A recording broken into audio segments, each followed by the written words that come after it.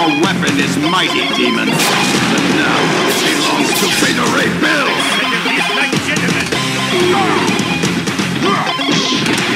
Tiger